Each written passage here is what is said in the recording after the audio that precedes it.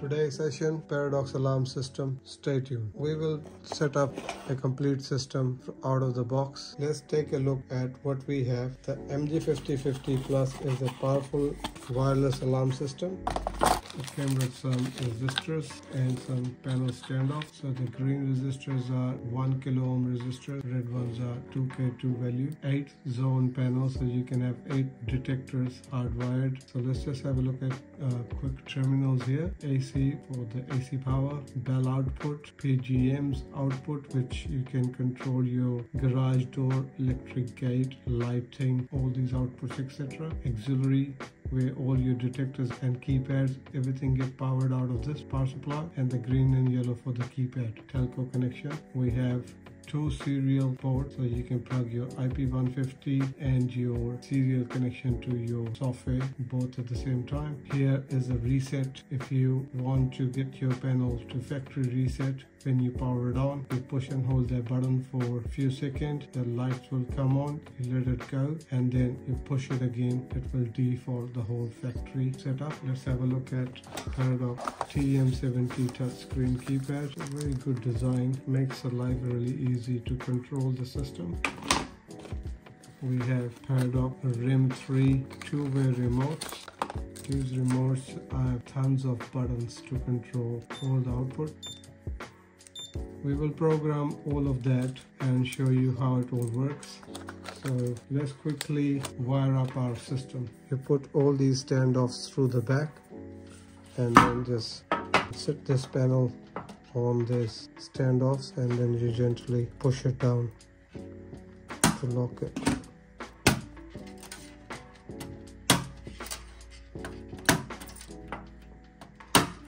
Now let's wire up this TM70 keypad to the panel. With this fly lead comes with it. It plugs in back of this keypad. Let's quickly wire it in. Red to auxiliary positive, black lead to auxiliary negative, green to GRN terminal, yellow to the yellow terminal.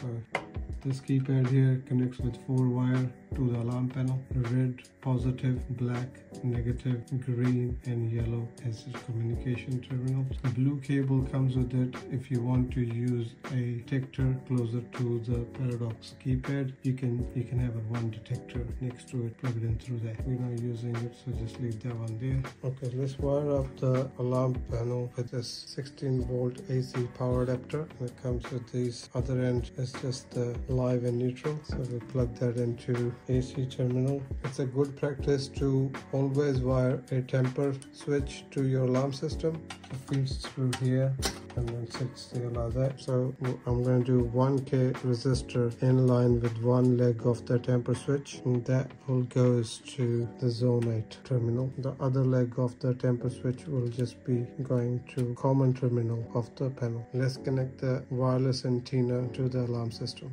the system is now ready to power on.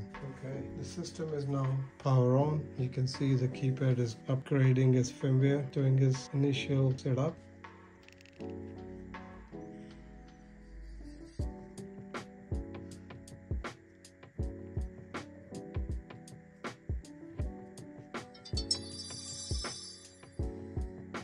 So just press ok so now system is basically ready to go. Okay our system has just powered on. So first it's all factory setting what we're gonna do is we're gonna program zone 8 which is our tamper switch. So if we go to menu and then go to system setup default installer code four zeros go in it and then click on zones. We're going to zone 8 and then enroll as a hardwired zone. You click on that. Here you can select your zone type. So if I go to 08 zone type, which is an instant zone type, so click on that and then save it. And then area assignment is part of area 1 is on and then just hit next so another thing we have to do is to tell the system it's wired with single end of line resistor. So if we go to advanced programming and then go into installer section pro system programming installer section number 706 and turn the option 2 on and then hit next. And then you can come back out of the programming. Now you can see one zone is showing open. So better way to look at if one technician is on site and he needs to test all the zones.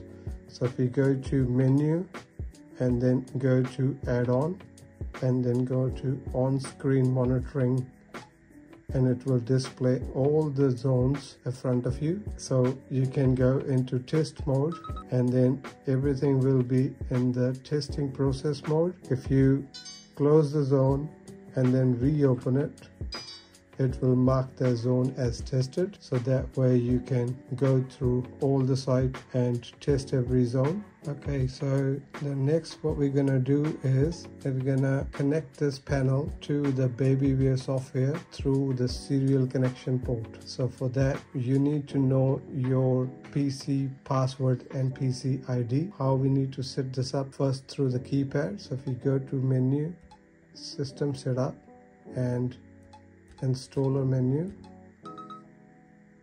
go to advanced programming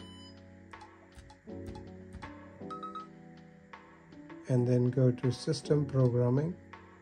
And under section 910 you can select your communicator password. So whatever 5555 next.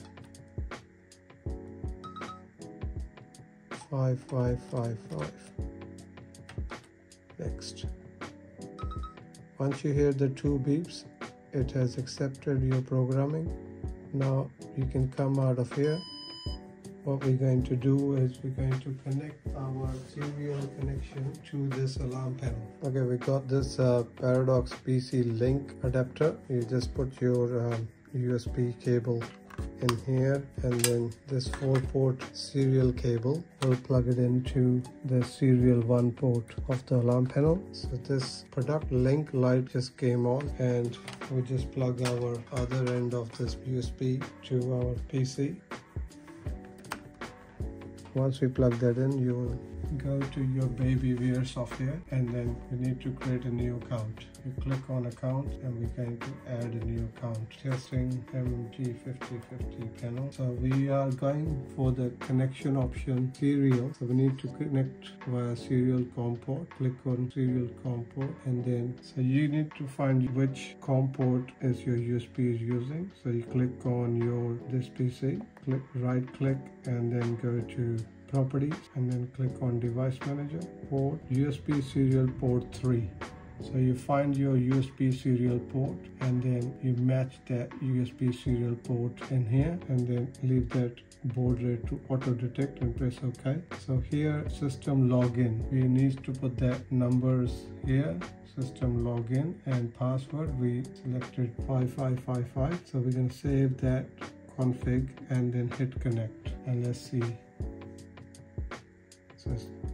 detecting identifying the panel. Okay so we are in. So you always receive all the information from the panel first give us all the reviews. Okay let's program our rem3 remote and program all the outputs controlling from these remotes. So for that we will go to the user and then we will put a serial number of the remote into the remote serial section. What you have to do is you have to assign the buttons to control the output so if you click on action so here I have selected number 9 for PGM1 so these outputs here PGM1 2 3 4 I have selected all four different PGMs and then basic area 1 arm sleep time mode and off button. So if you do that and then you just have to highlight these one touch option and then hit save okay and let's just test our pgm output one so what you first have to press the information button for one second select your buttons. So button B is pressed. So this output here one is on. If I do button two, button C is pressed, which will turn on output two. Button B, it's for output three, and then button E for output 4. Before we wrap up here, let's just test our remote for arming and disarming. So click here. System is ready to arm, it's arming now. And let's disarm it system is off and that's it. Your paradox alarm system is now fully set up and ready to go. If you found this video useful don't be shy to like and subscribe for more security and automation tutorials. If you have any questions drop them in the comments and i will be happy to help. Thanks for watching guys